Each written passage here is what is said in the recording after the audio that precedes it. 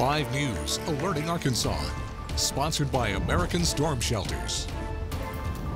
Are tornadoes on the rise for Arkansas? Well, when you look over the past 30 years, generally the South has seen an increase in severe weather, especially in the winter months. But let's do the opposite now. Let's look into the future using models to see how will tornado threats change over the next 75 years. I spoke with Dr. Walker Ashley from Northern Illinois University, who has recently finished some research on how a warming climate may change where and how many tornadoes hit the South. So this research began uh, let's call it five, six, seven years ago, um, with a plan to study what we consider weather extremes in the United States uh, using um, weather models. One piece of that was to examine these rotating thunderstorms known as supercells, which produce the lion's share of significant tornadoes, including deadly tornadoes and uh, impactful hail. A quick pause. Generally, we have two types of tornado setups around these parts. We have the supercells that can create large tornadoes, and we also have what are called QLCS tornadoes, the ones that form along the leading edge of a line of storms where gusts of wind mechanically form a quick tornado. These can be destructive too, like last year's EF3 Springdale tornado. Dr. Ashley's research focuses the future on supercells specifically and their tornadoes because they can be much more easily resolved in computer models. The future, we're projecting increased warming, uh, increased moisture in the atmosphere. You know, all of our, our climate projections suggest that. In fact, we're already seeing that uh, in our current observations. And what we found is, is a, a, a broadly an increase in the number of supercells in, in a, in a warming climate. We found a substantial increase, significant increase in the number of these events across the eastern two thirds of the United States. But what about here specifically in Arkansas. Arkansas happens to be where we see the greatest positive increase increase in the number of supercells in the future.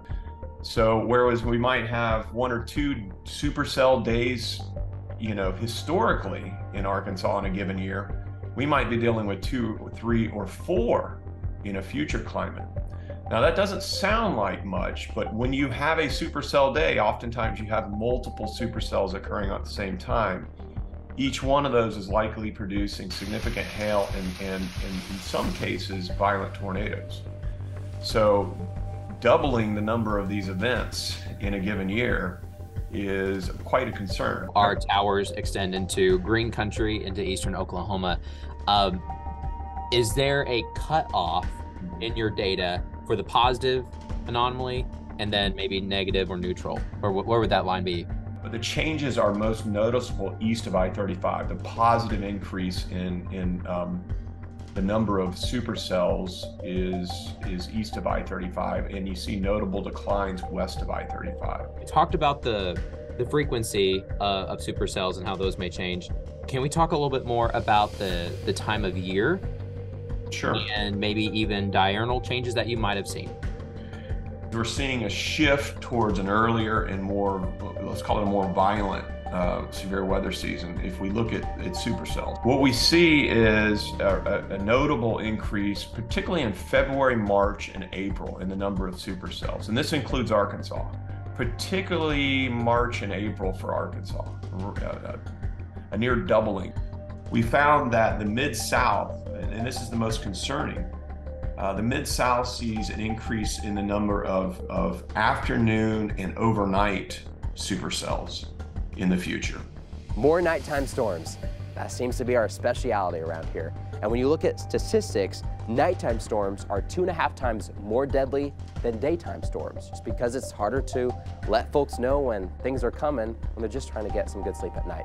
So more chances of supercell tornadoes, especially in the late winter, plus a growing threat of them taking place at night which is partly due to the fact that during the winter you have more dark time hours than daylight hours. And that's what Dr. Ashley and his team saw in the research where they modeled rotation 5 to 15,000 feet high into the atmosphere.